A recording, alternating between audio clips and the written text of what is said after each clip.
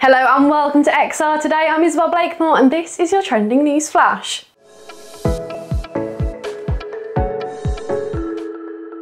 It was recently announced that Chinese augmented reality wearables manufacturer Nreal launched its Air brand of smart glasses in the UK in partnership with British telecoms giant EE.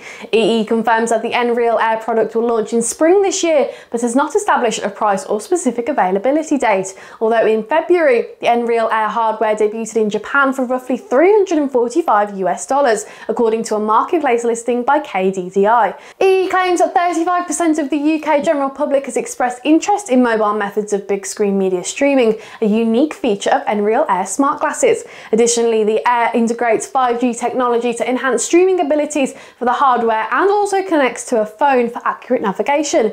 It also contains a 46 degree field of view, has a lightweight design and protects users from long-term blue light exposure among other features. The Director of Devices and Partnerships at EE, Alistair Wilson, added, We're working with the best content providers and the most innovative technology companies in the world to create entirely new experiences for our customers. When combined with the power of 5G, it really does open up new possibilities for seamless streaming and access to new types of content on the move. These are really exciting times for mobile.